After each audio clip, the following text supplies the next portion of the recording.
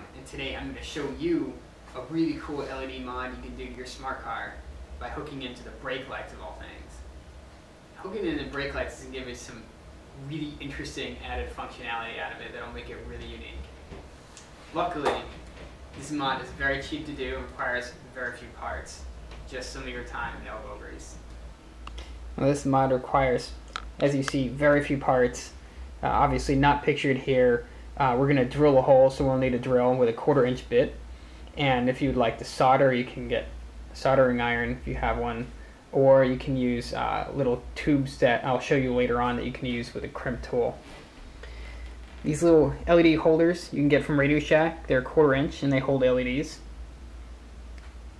And these little things here also I got from Radio Shack. All this is very, very cheap. On the order of cents. This is an LED. You can buy these online for like 10 cents a pop, 10 to 30 cents depending on the color of the bulb. Just make sure you get the ones with the integrated resistor. If you can see there, there's a little bump in the wire where the resistor is. And obviously some extra wire that you'll need because it's not, this is not going to be enough wire for you. So the first step to putting your custom LEDs in is to take out the rear light panel. And your smart cars is conveniently located behind your seats. You just take this little compartment off and you'll see there's a little padding back here. And your manual will tell you, smart car manual tells you how to do all this for changing your brake lights basically. And here you'll see behind this padding is the assembly, the wiring. And what will happen is there's a little, if you can see, a little lever in here that you just push up and then you pull the assembly out. Very simple. Test if this bulb works, all you need to do is take this light out by rotate, pushing it in, rotating it, taking it out, and you'll see the two contacts where these metals go together. Turn the lights on for the car. And just run these two contacts and you'll see that the LED turns on correctly. Now in this LED, this red and black stripe one goes in the top contact point and the solid red one goes in the bottom. Running through these connections, we can see that this connects to the first and second wires in this harness, the black and white stripe and the brown one. So the black and white stripe connection is where the red stripe wire connected on our LED. So basically what we're going to do is splice these two wires, drill a hole in here to mount the LED, and run this wire through the back of this panel into here and connect it.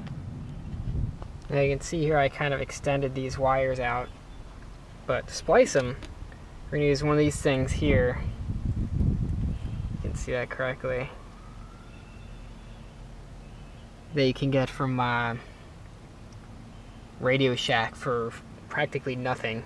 And basically how this works is you take two ends of the wire, put it in the two metal holes, then you take your wire and you splice it and put it in here. I'll show you an example of it in action here. We have this wire cut. We already cut the um, black and white striped wire and spliced it in there. And I just wrapped a little duct tape around it. I'm probably going to protect the rest of it with duct tape as well.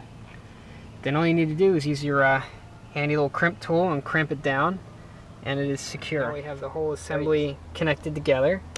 See the LED there, my extension, because the wires that came with it weren't long enough. And the connection into the tail light assembly there. And we will test to make sure that this works. And voila! one purple LED and tail light on at the same time. Now, since it's daylight out, it's kind of hard to tell how bright this actually will be at night when we have our lights on.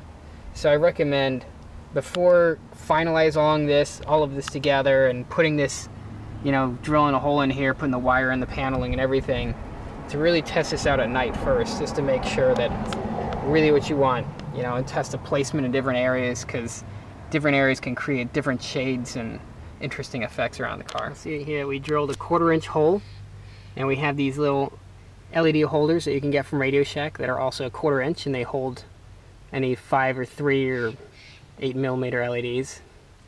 And basically you're gonna wanna put this in the hole. So you have something to secure LED to. And you just run these wires from your LED down through here and it'll come behind the paneling down here. You may have to reach your hand up in here and pull it down. Now the passenger side is significantly more tricky because only part of the panel comes out. So I had a crazy idea and I put this solder wire, I fed it up through this hole here and kind of caught it with my hand through here. And what I did is I put the LED in here, fished this wire out, and tied them together. And the hopes is that I can just pull these through this hole and get the wire to come out here. And all I have to do is get a wire from here to here at this point. One trick is to make sure though that your wire from the LED is coming out from the right side of the seatbelt or it's going to chafe against the seatbelt.